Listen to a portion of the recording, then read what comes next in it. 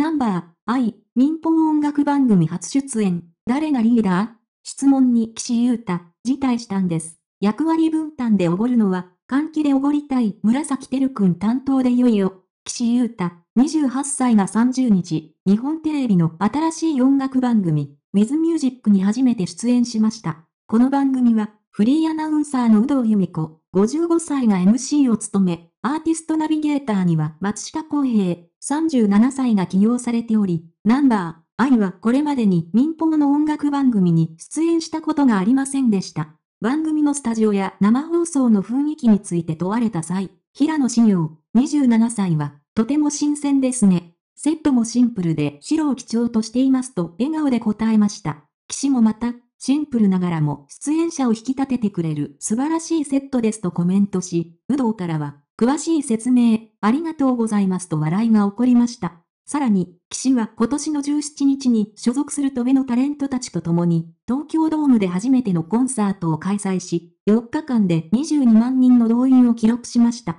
神宮寺勇太、26歳は、ファンの皆さんに直接喜びの声を浴びるのは久しぶりで、とてもウキウキしましたと感謝の気持ちを述べ、不安はありましたか？という質問には特にありませんでした。それぞれが SNS で活動しており、ファンから直接要求される声を受け取っていたので、早く期待に応えたいという気持ちが大きかったですと述べました。トークの中で、誰がリーダーかという質問も上がりました。平野と神宮寺が騎士を指名すると、騎士は辞退しました。まだ決まっていないのですと小声で答えました。平野が、僕と神宮寺は岸君だと思っている。年齢や経験も長いのでと改めて主張すると、騎士は、また話し合いながら、とぼやきながら笑いを誘いました。ステージでは、デビュー曲の、ゴートを披露し、高度なダンスでスタジオを沸かせました。しかし、リーダーのポジションについてはまだ明確ではありませんでした。騎士はリーダーを辞退したとしても、メンバーたちは彼を信頼し、彼の存在を重視しています。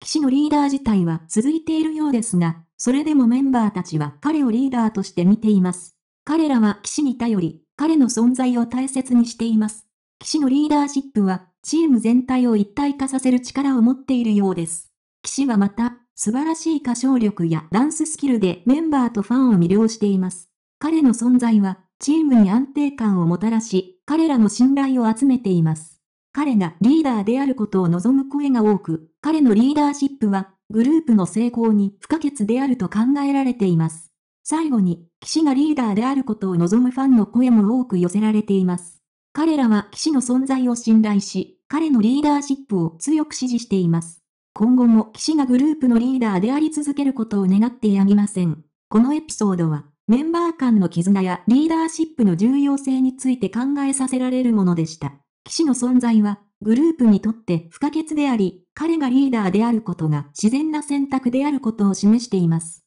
では、騎士のリーダーシップについてどう考えますか？彼がリーダーであることに賛成ですか？それとも別の意見をお持ちですか？どちらにせよ、彼の存在はグループにとって重要だと思いますか？これらの質問について考えてみてください。ナンバー、愛が30日、日本テレビの新しい音楽番組、With Music に初めて出演した。この番組は、フリーアナウンサーの有働由美子、55歳が MC を務め、アーティストナビゲーターには松下洸平、37歳が担当する。そして、この番組にとってナンバー、愛は初めての民放音楽番組への登場だった。スタジオや生放送の雰囲気について尋ねられたとき、平野志陽、27歳は明るく笑って、フレッシュですね。セットも白を基調としていてと答えた。そして、岸優太、28歳も、シンプルさがいい感じで、出演者を引き立ててくれると付け加え、有働はその詳細な説明に笑顔で感謝の言葉を述べた。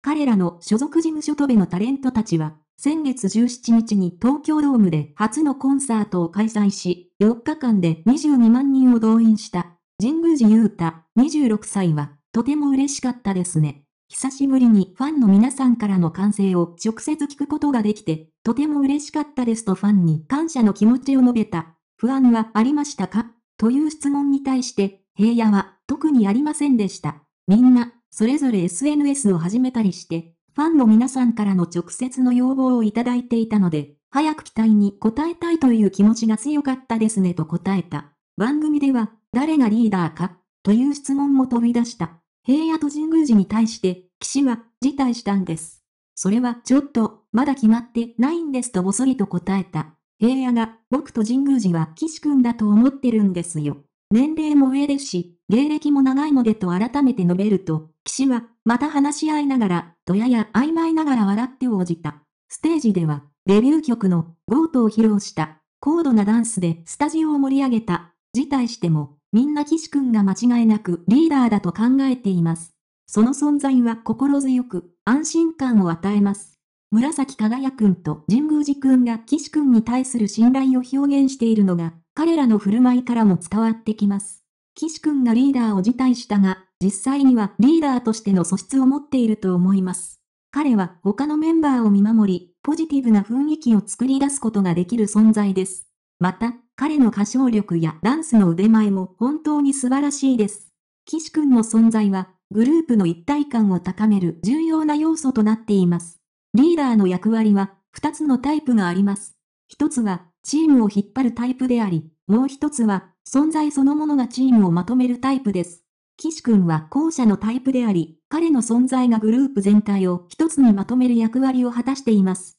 岸くんがいることで、メンバーたちは安心感を感じることができます。最後に、岸くんへの信頼と応援のメッセージを送りましょう。彼の存在は、ファンにとっても、メンバーにとっても、非常に大きな意味を持っています。岸くんがリーダーであることに、疑いの余地はありません。放送されたスタジオの雰囲気やパフォーマンスのエネルギーに触れた視聴者からは多くの賛辞が寄せられました。特に、岸優太さんのリーダーシップについての質問が話題を呼びました。メンバーたちは岸さんに対する信頼と尊敬を示し、彼のリーダーシップの重要性について熱心に議論しました。岸さんがリーダーシップの役割を辞退したことについて、ファンたちは驚きと同時に理解を示しました。しかし、彼の存在がグループ内での安定感をもたらし、他のメンバーに信頼を与えていることが伝わってきました。リーダーシップの重責を引き受けることにためらいを感じる岸さんの姿に多くの支持が寄せられました。最近のファンのコメントや反応を見ると、彼らが岸さんをリーダーとして尊敬していることがよくわかります。彼の多彩さや優しさ、そしてグループ全体に与える安定感が彼を唯一無二のリーダーにしています。キング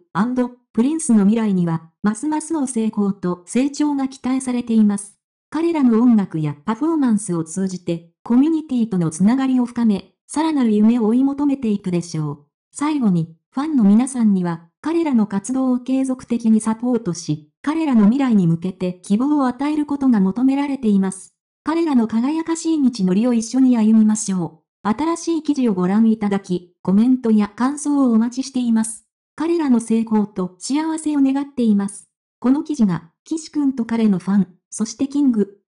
プリンスのファンにとって、さらなる理解と絆を深めるきっかけとなれば幸いです。彼らの活動と成長を心から応援しています。それでは、次回のエピソードで、彼らのさらなる活躍を楽しみにしています。この記事を読んで、皆さんはどのように感じましたか？岸くんのリーダーシップについて、どのような意見をお持ちですか？ぜひコメントをお寄せください。